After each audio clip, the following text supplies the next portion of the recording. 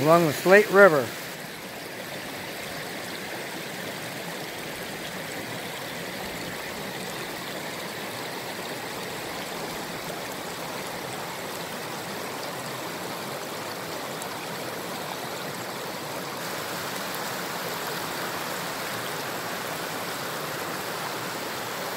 Sorry about that.